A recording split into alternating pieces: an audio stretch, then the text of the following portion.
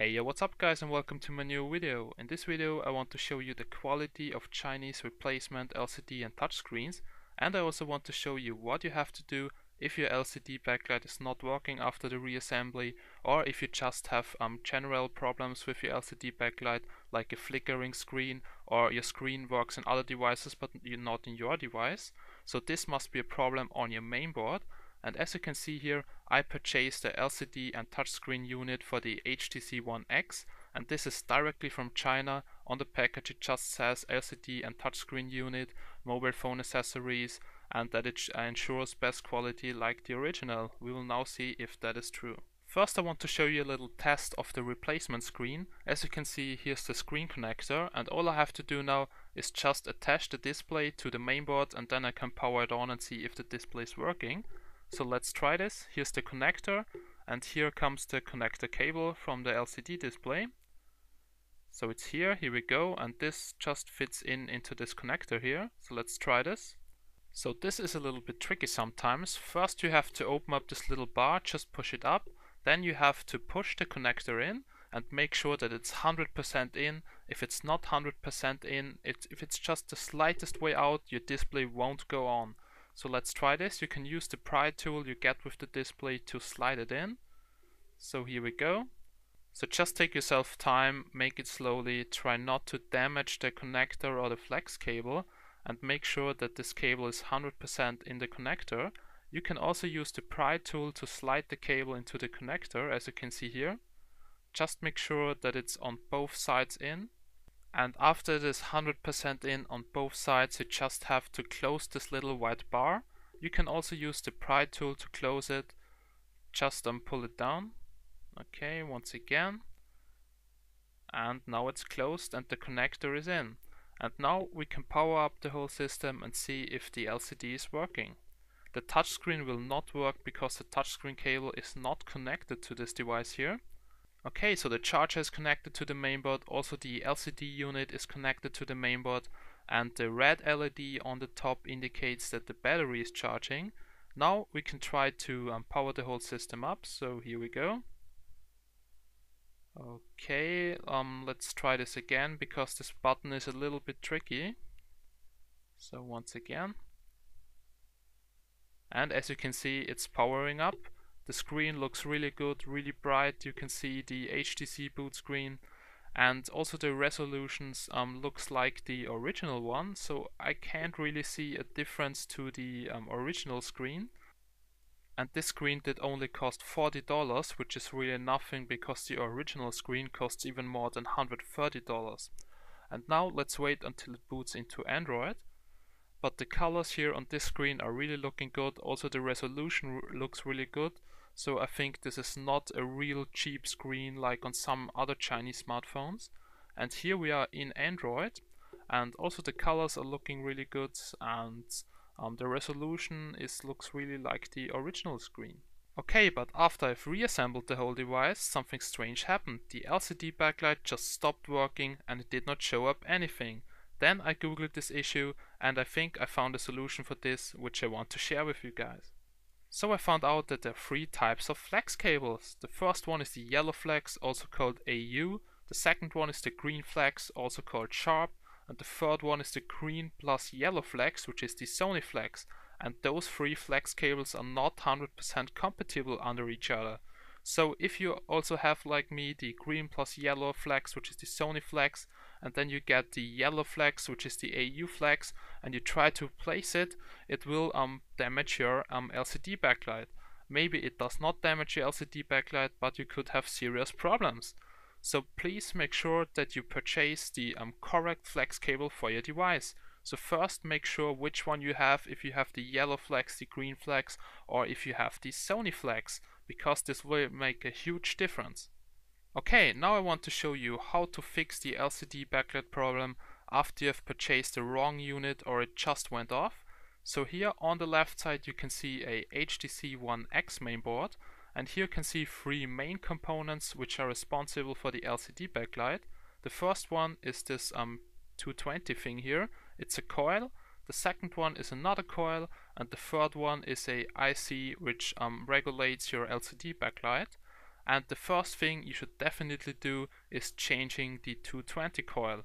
If that doesn't work you should change the other coil and if that also doesn't work you have to replace the IC.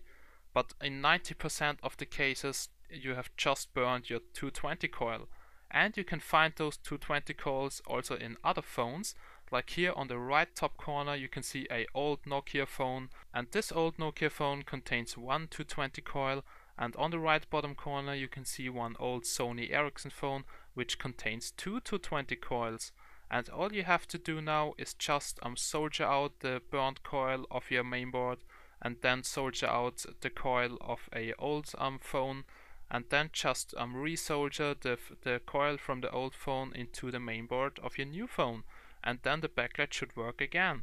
And if you don't have an old phone which contains 220 coils, you can also purchase them on eBay, AliExpress or anywhere from China. But you will have to wait uh, um, about two or three weeks to get them. But only do this if you're 100% sure that not your display or the flex cable is broken or even the connector on your mainboard.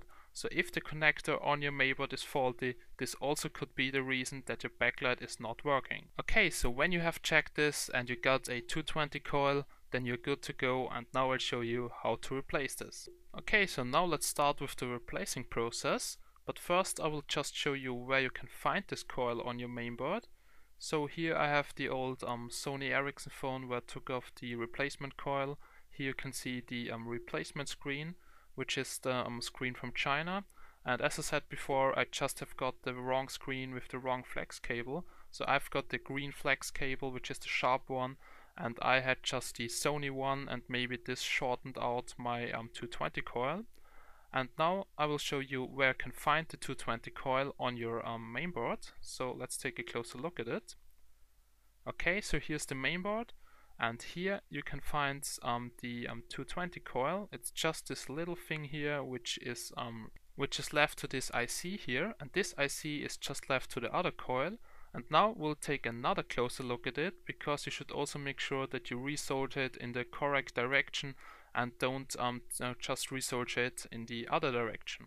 And now I want to show you a little way to test your coil. All you need to have is just a multimeter and set it to below 10 ohms then you just um, measure at both ends of the coil and see um, how much the resistance is.